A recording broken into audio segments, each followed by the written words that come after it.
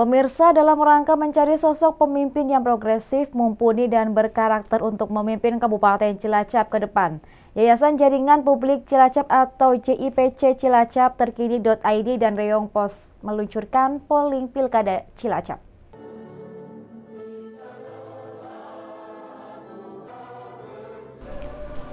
Peluncuran polling Pilkada Cilacap berlangsung di Jalan Budi Utomo Cilacap Sabtu 18 Juli 2020 ditandai dengan pemotongan tumpeng. Polling bertujuan untuk memberi pendidikan politik bagi masyarakat, membangun partisipasi dan kesadaran masyarakat Cilacap akan pentingnya memilih bupati yang memiliki kapabilitas, kredibilitas dan bersinergitas serta mengenalkan rekam jejak calon kandidat bupati. Nantinya dengan polling diharapkan dapat membantu KPUD dan Bawaslu dalam meningkatkan partisipasi masyarakat dalam Pilkada 2022 atau 2024, ikut memantau dan mengawasi penyelenggara Pilkada dan bermitra dengan Dewan Kehormatan Penyelenggara Pemilu atau DKPP RI.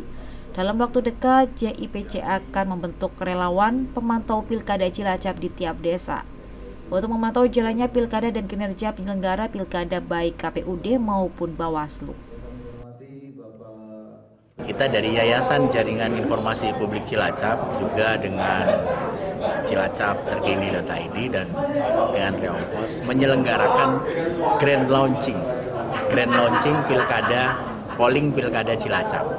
Jadi kita sebenarnya sudah pre-launching dari dua minggu yang lalu terkait dengan polling pilkada ini, tapi kita laksanakan sekarang grand launching. Kenapa kita laksanakan grand launching?